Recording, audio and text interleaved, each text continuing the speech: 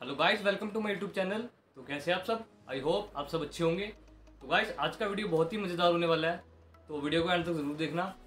और अगर आप मेरे चैनल पर नए तो मेरे चैनल को सब्सक्राइब कर नोटिफिकेशन बेल को ऑल पे सेट कर दीजिए, ताकि लेटेस्ट मेरी फिटनेस वीडियोस आप सभी तक पहुँच सकें। तो गाइस जो आज का हमारा टॉपिक होने वाला है, वो होने वाला है प्री वर्कआउट के ऊपर। इसे मैं आपको बताऊँगा कि आपको बेस्ट प्री वर्कआउट कौन सा लेना चाहिए, और प्री वर्कआउट में कौन से इन्ग्रीडियंट है जो आपको देखने चाहिए, कोई प्री वर्कआउट सप्लीमेंट परचेज करने से पहले। Yeah.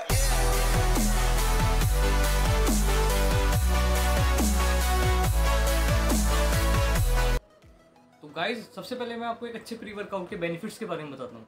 तो भाई जो अच्छा प्री वर्कआउट है, वो आपको वर्कआउट के अंदर काफ़ी हेल्प करता है, आपका फोकस बढ़ाता है, आपकी मसल पंप बढ़ाता है और आपको मोटिवेशन प्रोवाइड करता है। और साथ ही साथ ये आपको एक अच्छा किक देता है ताकि आपका वर्कआउट बहुत ही अच्छा हो सके। आपको रिकमेंड करूँगा कि आप ज़रूर अपनी वर्कआउट से पहले प्री वर्कआउट सप्लीमेंट ऐड करें। गाइस मार्केट के अंदर आपको अलग अलग तरह के बहुत सारे प्री वर्कआउट देखने को मिल जाएँगे, जिसमें अलग अलग तरह के पता नहीं कौन कौन से इंग्रेडिएंट है जो वो मिला रखे होते हैं कंपनीज़ ने। तो गाइज़ मैं आपको बताऊँगा कि आपको कौन से इंग्रेडिएंट जो है प्री वर्कआउट के अंदर देखने हैं परचेज करने से पहले। तो गाइज़ जो प्री वर्कआउट में आपको सबसे पहला इंग्रेडिएंट देखना है वो है कैफीन तो गाइज़ जो कैफीन है वो आपको अलर्ट अलर्टनेस आपकी बढ़ाता है फोकस बढ़ाता है और साथ साथ आपका एनर्जी भी प्रोवाइड करता है।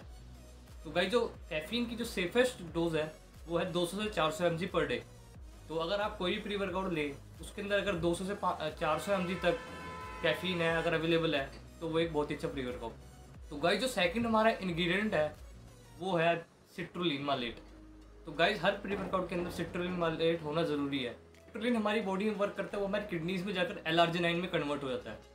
जिससे कारण हमें मसल पम्प बहुत अच्छा आता है और हमारी वेस्कुलरिटी भी इंक्रीज होती है। सिट्रोलिन मालेट की जो डोसेज है, वो होनी चाहिए तीन से चार ग्राम। हर प्री वर्कआउट के अंदर। हमारा थर्ड इन्ग्रीडियंट है, वो होना चाहिए हमारा बीटा एलानिन बीटा एलानिन को आपको कम से कम चार ग्राम डोसेज का देखना है किसी प्री वर्कआउट के अंदर। तो हमारा एक और इन्ग्रीडियंट है, वो है हमारा क्रिएटिन तो वैसे क्रिएटिन की जो डोसेज होती है, वो होती है तीन से पाँच ग्राम डेली तो अगर किसी प्री वर्कआउट के अंदर क्रिएटिन की डोसेज जो तीन से पाँच ग्राम हो तो बहुत ही अच्छा प्री वर्कआउट होगा।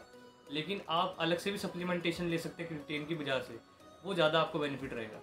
तो गाइस आपने काफ़ी बार देखा होगा जो लोग प्री वर्कआउट यूज़ करते हैं, उसको लेने के बाद उनकी जो स्किन है वो रेड हो जाती है या उनको इचिंग होने लगती है। तो गाइस वो मैं बता दूँ आपको, वो बीटा एल की वजह से होती है।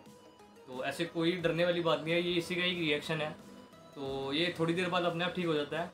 तो बीटा एल की वजह से आपको इचिंग या फिर जो रेडनेस है, जो स्किन में वो देखने को मिलती है। कुछ प्री वर्कआउट सप्लीमेंट्स का जो लिंक है मैं आपको डिस्क्रिप्शन में दे दूँगा।